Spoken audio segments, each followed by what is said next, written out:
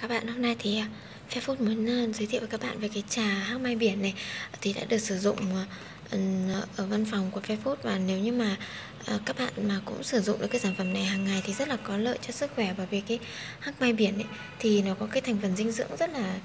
đáng ngạc nhiên rất là ấn tượng ấy. nó có hơn 190 chất dinh dưỡng um, và bao gồm um, có cái hàm lượng rất là cao như là vitamin C thì cao gấp 12 lần so với vitamin C trong quả cam này hay là lượng vitamin E thì cũng cao nhiều tương đương so với mầm lúa mì. Cái lượng vitamin A thì cũng nhiều gấp 3 lần so với cà rốt hay là lượng enzyme super oxide ấy, um, ấy, thì nó là cái chống gốc tự do thì cũng cao gấp 4 lần so với nhân sâm và hắc mai biển cũng là cái nguồn duy nhất mà có chứa cả omega 3, 6, 9 và omega 7 cho nên là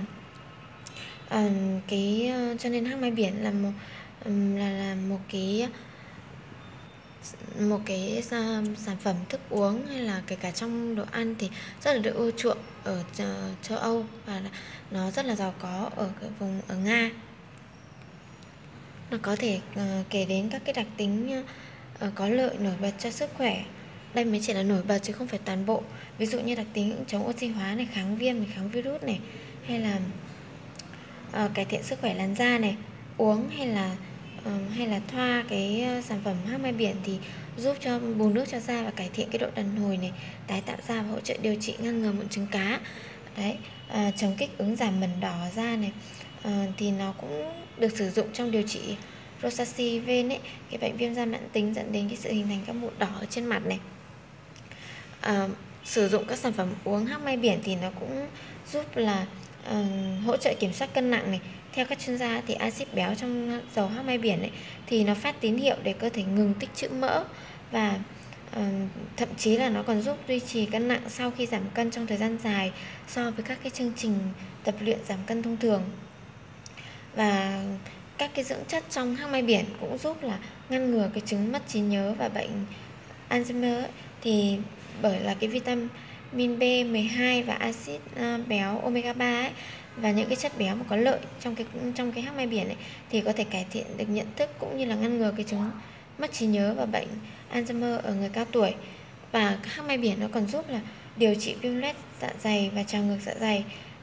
nó làm xoa dịu các cái mô niêm mạc trong đường tiêu hóa và nhờ đó là giúp chữa lành tổn thương do viêm loét dạ dày này. Bên cạnh đó thì nó còn rất hữu ích trong cái việc ngăn ngừa về điều trị các vấn đề về tiêu hóa ví dụ như là đau dạ dày khó tiêu và tà bón.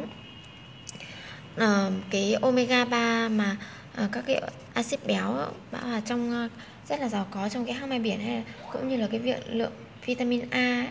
um, vitamin E đấy thì nó giúp là điều trị chống khô mắt và ngăn ngừa tổn thương gan. Đấy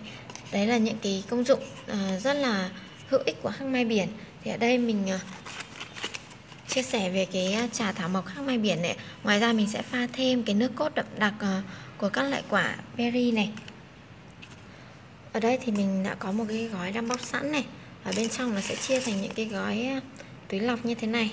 và đối với lại một cốc thì chắc các bạn chỉ cần có một túi thôi còn nếu mà pha một ấm thì bạn có cần